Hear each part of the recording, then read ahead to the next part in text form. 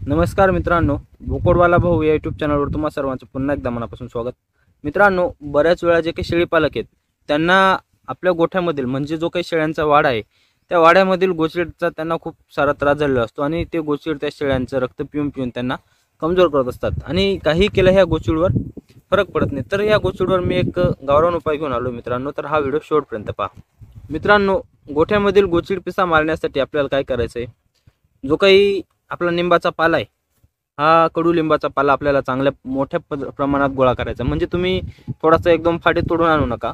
मोठ्या प्रमाणात गोळा करा. म्हणजे जेवढा तुम्हाला कडुलिंबाचा पाला तोडता येईल तेवढ्या प्रमाणात तुम्ही कडुलिंबाचा पाला गोळा करा. जर तुम्ही तुमचा गोठा म्हणजे असं लाकूड वगैरे काही नसेल किंवा फ्लॅट सिस्टीम नसेल खाली जमिनीवर गोठा असेल किंवा आपण म्हणतो ना सिमेंट वगैरे असेल खाली कोबा वगैरे केलेला असेल तर काय करायचं? जर अशी जळण्यासारखी जर एखादी वस्तूने पूर्णपणे लोखंडी जाळी वगैरे मारून ठेवलेली आहे किंवा पडदे वगैरे काढून घ्यायचे आणि काय करायचं? जो काही कडुलिंबाचा पाला आहे हा आपल्या पूर्ण गोठ्यामध्ये पसरेल. या पद्धतीने आणायचा असा जाड थर लागेल. असा कमीत कमी एक दीड इंचचा जरी थर लागला किंवा दोन इंचपर्यंत जरी थर लागला तरी लागत पाहिजे नाही तर तुम्ही असं पातळ पातळ कुठेतरी पसरवून देणार आणि मग व- हा उपाय करणार. असं नाही मित्रांनो कडुलिंबाचा पाला तुम्हाला खूप जास्त प्रमाणात घ्यायचा आहे.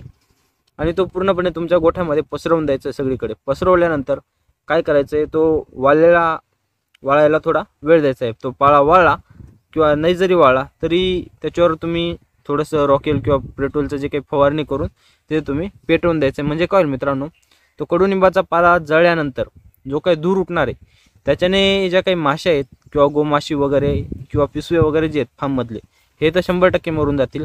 पण जे काही खाली राख पडेल त्या राखेमुळे ते खाली जे काही आगीमुळे सगळ्यात मुळे जी काही आग आहे ना त्या हिटमुळे जमिनीवरच्या गोचिड पण पूर्णपणे नायनाट होतील. आणि जी काही राख आहे ही राख आपल्याला आपल्या शेळ्या आहेत किंवा बोकड आहेत त्यांच्या अंगाला पूर्णपणे चोपडून द्यायची आणि ते कडवटपणामुळे त्यांच्या अंगावरील पण ज्या काही गोचिड आहेत ना या गोचिड मरून जातील मित्रांनो. आता राख केव्हा लावायची ती राख गारू द्यायची मित्रांनो मग लावायची नाही तर गरम गरम लावायला जाणार हात पण जाळून घेणार आणि शेळीचं शरीर पण जाळून घेणार. त्याच्यामुळे कसं आहे गार झाल्यावर ती राख गाळून घ्यायची गाळणी. आता तुम्हाला सांगतो काय करायचंय. समजा सुरुवातीला आपण कडुलिंबाचा पाला पूर्ण पसरवला फार्ममध्ये पाममध्ये पसरवल्यानंतर आपण तो पेटवला. पेटवल्यानंतर तिथं राख पडली. बरोबर आहे? त्याच्यानंतर ती राख झाडण्याने झाडून घ्यायची गार झाल्यावर. मी घडी घडी सांगतोय गार झाल्यावर करायचं लगेचच्या लगेच करू नका. झाडण्याने पूर्णपणे झाडून एका ठिकाणी गोळा करायची गोळा केल्यानंतर जी काही राख आहे ही राख अशी हाताने चुरडून घ्यायची चोळून घ्यायची म्हणजे ती बारीक भुगवून जाईल. कारण की काही काही पाण्यात ना जसे तसे राहून जातात. त्यामुळे सांगतोय बारीक भुगा झाल्यानंतर एक बारीक गाळणी घ्यायची. आपली पिठाची पीठ वगैरे गाळायची जी काही गाळणी येते तशी गाळणी घ्या तुम्ही. आणि ती राख आहे ना गाळून घ्या मित्रांनो. चांगली अशी कढाईमध्ये मोठ्या कढाईमध्ये राख चांगली गाळून घ्यायची आणि वरचे खडे ते फेकून द्यायचे किंवा वरचे जे काही काड्या वगैरे माती वगैरे ते फेकून द्यायची आणि खाली खाली नुसती राख पूर्णपणे गाळून घ्यायची.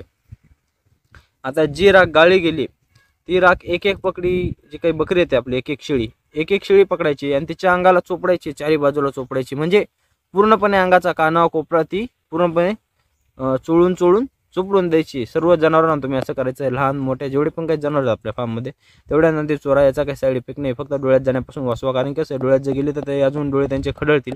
त्यामुळे गोळ्या जे काही राखी ही डोळ्यात जाण्यापासून तुम्ही वाचवायची आहे. तर मित्रांनो याचा खूप चांगला रिझल्ट आहे. पण एवढंच आहे की तुम्हाला थोडासा वेळ द्यावा लागेल म्हणजे कडुलिंबाचा पाला तोडणं तो गोळा करणं. जर तुम्हाला निरगुडीचा पाला मिळाला तर याच्यात निरगुडीचा पाला जरी टाकला तरी त्याचा खूप चांगला रिझल्ट आहे मित्रांनो. तर आशा करतो आजचा हा व्हिडिओ तुम्हाला आवडला असेल व्हिडिओ आवडल्यास व्हिडिओला लाईक करा शेअर करा आणि आपल्या बोकडवाला भाऊ या यूट्यूब चॅनलला सबस्क्राईब करायला विसरू नका. धन्यवाद.